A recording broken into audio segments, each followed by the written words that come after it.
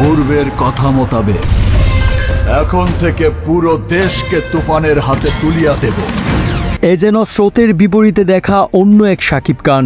এ যেন বাংলা সিনেমার রাজপুত্রের জায়গায় বাংলা সিনেমার নব্বই দশকের খতরনাক কোনো এক ভয়ানক ভিলেন। সকল সমালোচকদের মুখ বন্ধ করে অন্তর্জালে আগুন লাগিয়ে দিয়ে গোটা নেট পাড়ায় লণ্ডভণ্ড করে প্রকাশ পেল তুফান সিনেমার ট্রিজার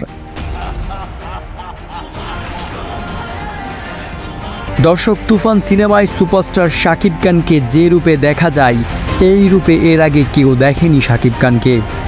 গা শিউরে ওঠার মতো খতরনাক ভিলেনের চরিত্রে প্রকাশ পেল তুফান সিনেমায় মেগাস্টার শাকিব খান।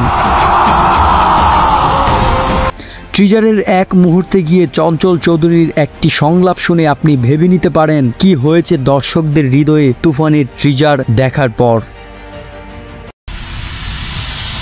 তুফান খুব ভয় পাইছি রে।